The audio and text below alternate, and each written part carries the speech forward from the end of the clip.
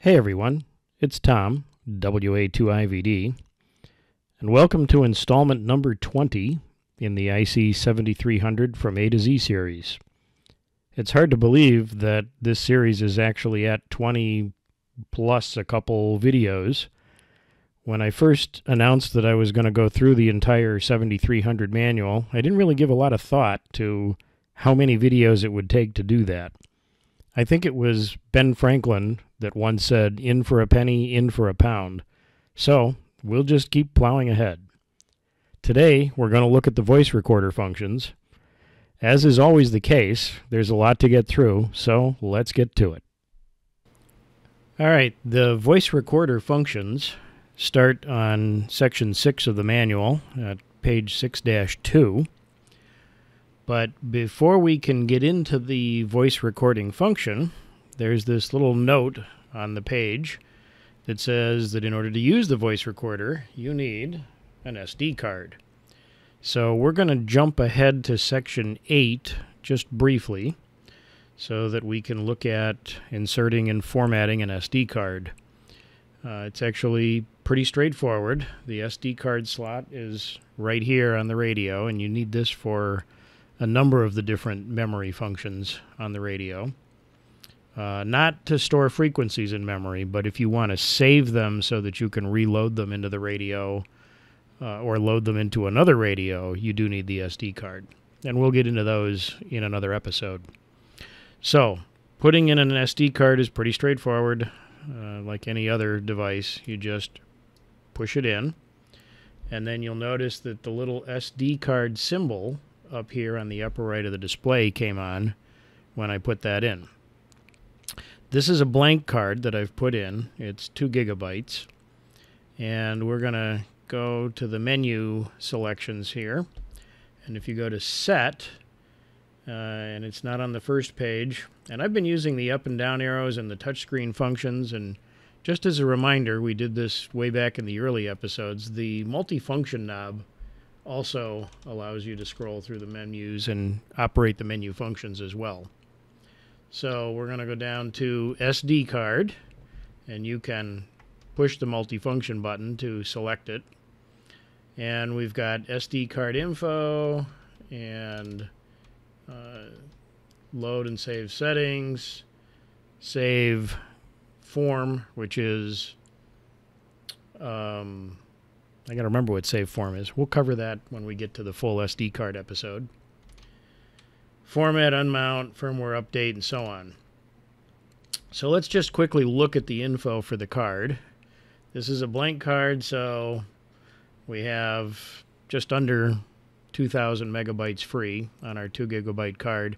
And the manual says that the radio will support up to a 32 gigabyte card. You'll notice here that this will record 35 hours and 35 minutes on this 2 gigabyte card. So 2 gig is probably plenty for most of what you're going to do, but you can certainly install a bigger card if you want. So I am going to go down to the format option and I'm going to select format, format OK.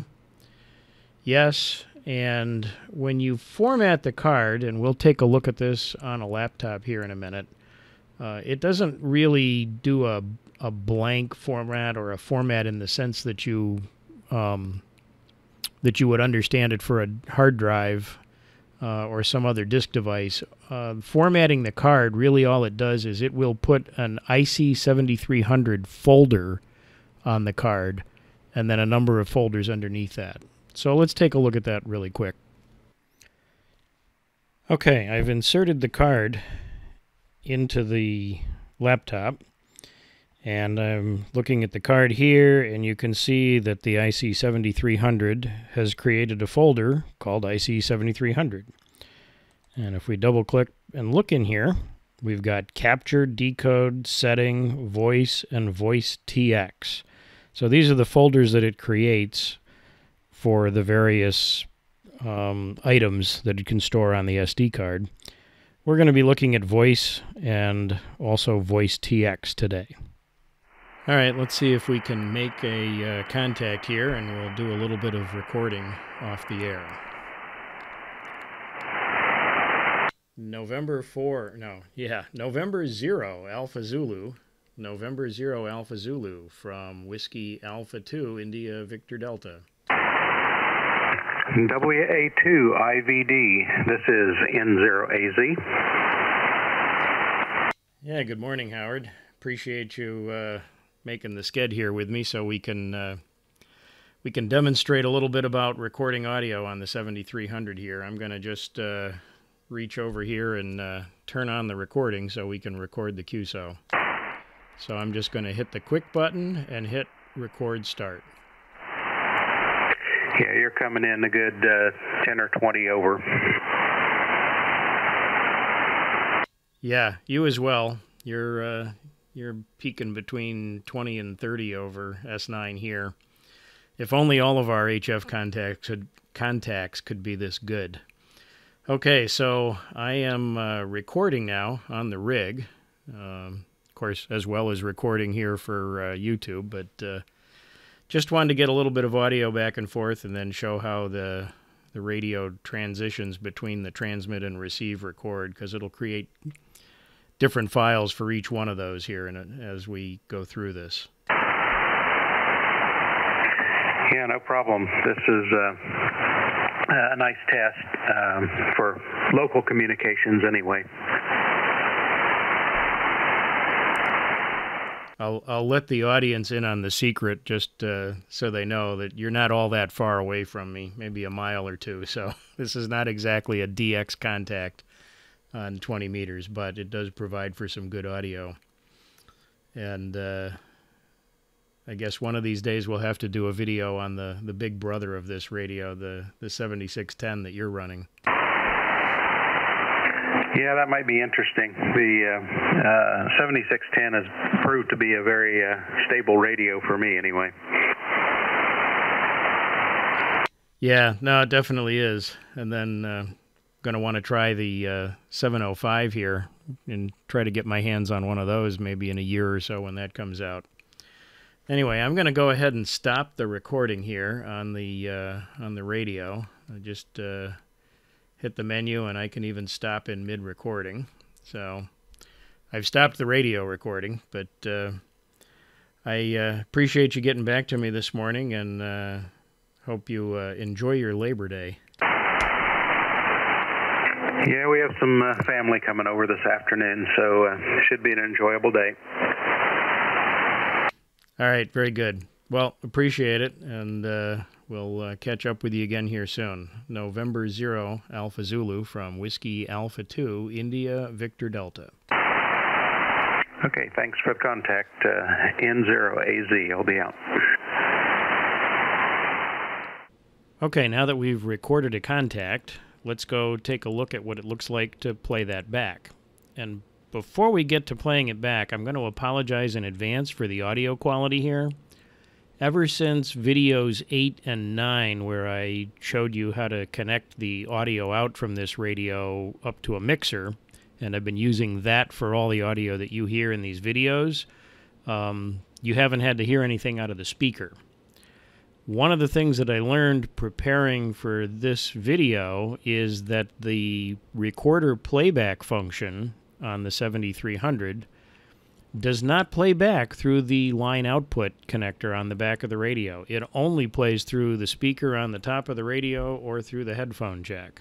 So I'm going to turn the audio up here and uh, let you listen to it from the rig. So the audio quality won't be quite as good as what they've been recently.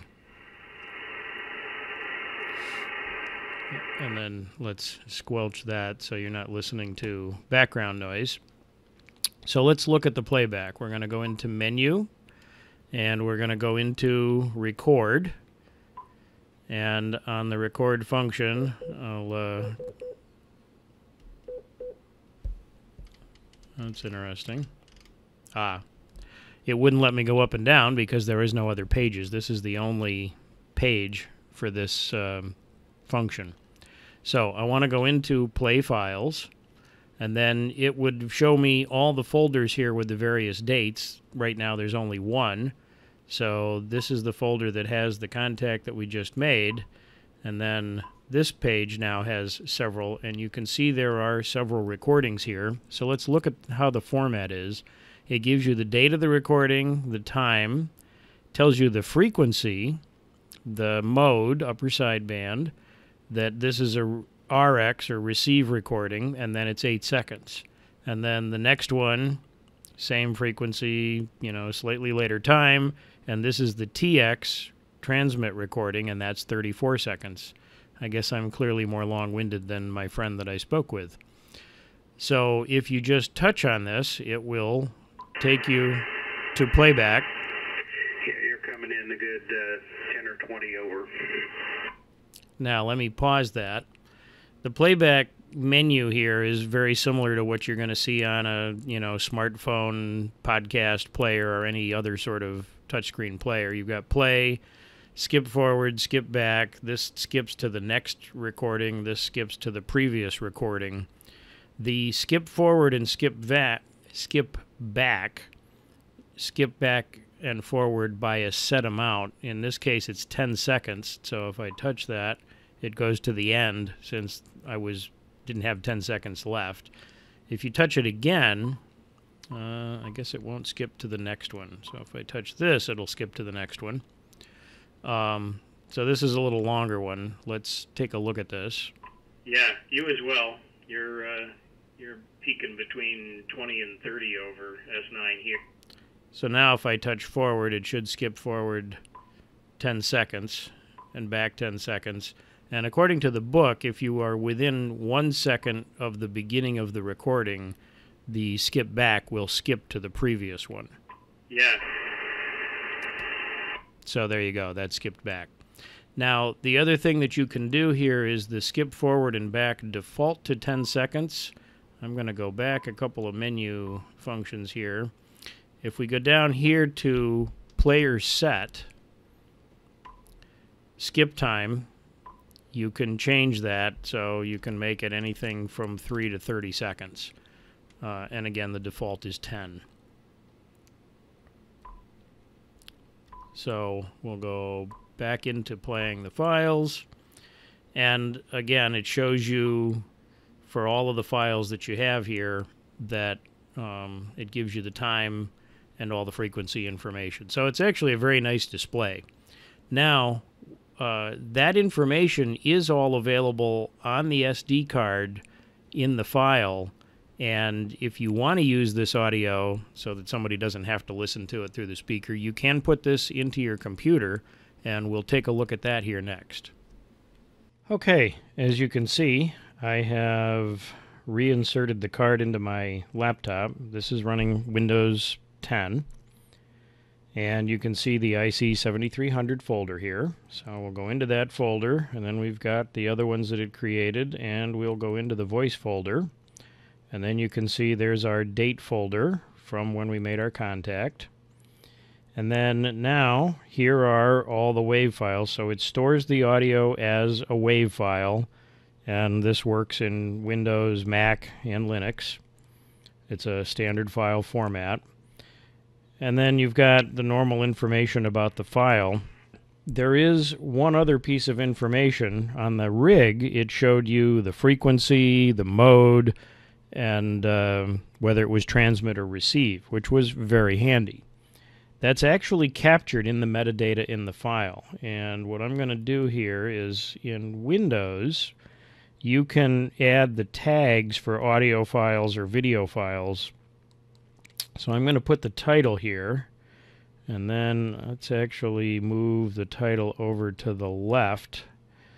And we'll make that field bigger. And you can see that the ICOM, as part of the title, you get all of that metadata. So it puts, you know, they, everything starts with IC 7300 voice recorder data, but then you've got your frequency, your mode, whether it was receive or transmit, and then the time and the sorry the date and the time, which of course is a little bit redundant because it's also here in the file name, but the title has all of your information. You could use this to search for files. Say, for example, you were working a contest all day and you logged the whole contest, you could search for a frequency or the time when you made a particular contact, and you could look it up on here and then play back any portion of that um, to get the information if you weren't sure if something got logged correctly.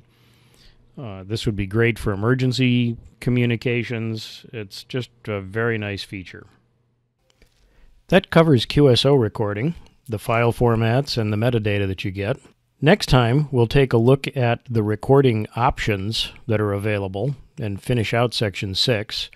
And then we'll look at Section 7, which is the transmit voice recorder. This allows you to pre record messages for CQs and other transmit operations for contesting, etc. I hope you enjoy these videos. If you do, please consider subscribing by clicking on the little radio that pops up in the lower right corner. Likes are also appreciated. As always, thanks for watching. I'm Tom, WA2IVD, and this is Ham Cured Smoke.